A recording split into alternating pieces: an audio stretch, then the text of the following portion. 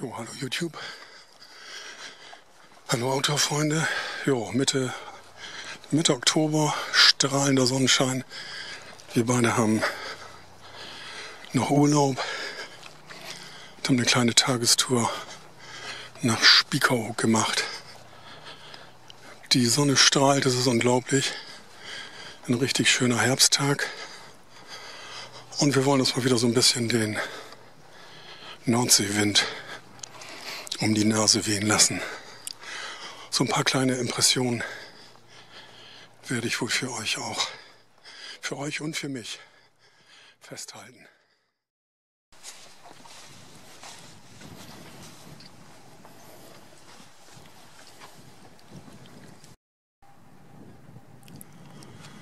Ja, hier nochmal einige Warnhinweise für naja, ich sag jetzt mal, Leute aus Süddeutschland, die sich hier nicht mit den Gegebenheiten Ebbe und Flut und so weiter der Nordsee auskennen.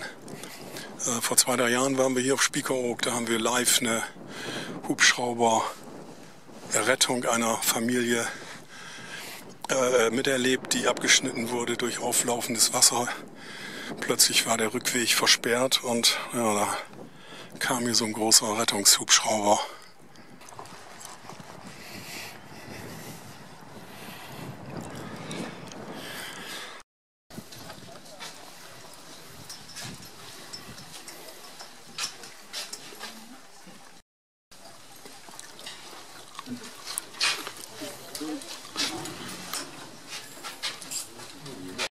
Kinderlieb sind und so weiter. Wenn da so eine große Familie äh, über Land gezogen ist, dann hatten die schnell mal 50 Pferde beieinander.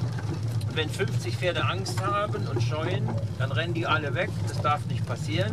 Deswegen haben sie besonders darauf geachtet, ruhige Pferde zu kaufen und zu züchten. Und daran erinnert man sich heute wieder. Wenn man für Kinder zum Beispiel ein Pferd kauft nicht? oder Kutsche fahren will, die Tinker sind besonders lieb und ruhig. Das werdet ihr gleich sehen, wenn wir in der Endstation sind, unser Tamme. Das ist ein sehr, sehr typischer Vertreter. Deswegen haben wir zwei Tinker auf der Bahn. Es riecht nach frischer Farbe. Die fahren nämlich durchs Deichtor durch. Das ist frisch gestrichen für die Wintersaison. Das wird nämlich geschlossen über Winter. Fest verschlossen. Wasserdicht sozusagen. Wenn die Sturmfluten kommen, meistens in der Winterzeit, dann kommt das Wasser mal bis zu den Toren. Ja. Und damit es nicht reinfließt in den Ort, wird das Tor zugemacht. In den Häusern? Die stehen höher und haben eigene Deiche. Gar nichts passieren. Das ist eben zugemacht worden. Ist nicht so weit gekommen, war nur bis zu der Wiese hier, aber hätte sein können. Nicht? Wir haben jetzt Sturmflutsaison. Jetzt kommen die äh, kalten Winde, kommen schon und die warme Luft ist noch da. Ja, und das gibt diese Wirbel und dann können diese Stürme entstehen. Kann sein, dass am Wochenende das Tor wieder zu ist. Wissen wir noch nicht. Müssen wir mal gucken. Ja, das ist so der Übergang der Jahreszeiten. Geht's die brauchen eine freie Fläche, äh, um ihre Nester zu bauen auf den Boden. Aha. Mal sehen, ob sie kommen.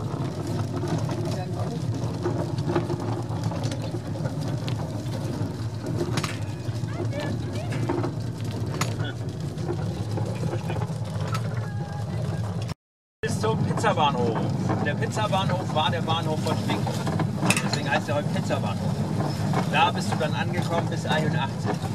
Und 81 gab es ja die große Wende auf Schwinkeroog. Dann hat man diesen Hafen da eingeweiht, den ihr alle kennt. Und dann brauchte man die Bahn nicht mehr, man hat sie eingespart, weil man musste die Gäste nicht mehr hinten im Wattenmeer abholen, sondern die Kurgäste können vom Schiff zu Fuß äh, in den Ort laufen. Ja, dann hat mein Vater mitbekommen, als Eisenbahnfan, und dann hat er gesagt, schade natürlich um die schöne Bimmelbahn, wenn man die einstellt. Aber hat er gesagt, wenn ihr das schon macht, dann lasst ein Gleis liegen, dann machen wir Museumspferdebahn. Um an die Zeit zu erinnern, 1885, alles hier losging mit... Jetzt haben wir es dann nicht ruhiger.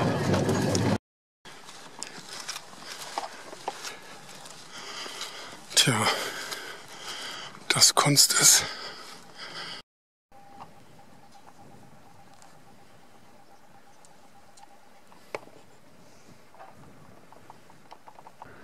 Aber wenn man sich so ein bisschen außerhalb der Hauptzugänge zum Strand aufhält, dann ist es auch ja, ziemlich ruhig hier, Gott sei Dank.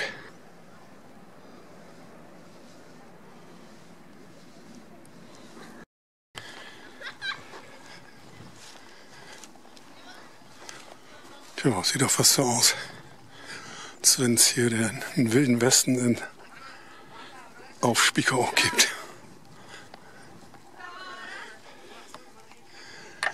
Und was uns aufgefallen ist, die Fasane, die sind hier fast zahm. Also bei uns zu Hause könnte man sowas aus der Entfernung nicht filmen.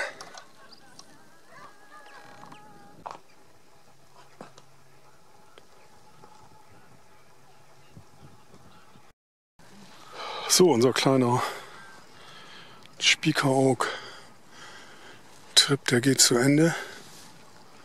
Zum Abschluss kriegen wir hier nochmal einen schönen Sonnenuntergang zu sehen.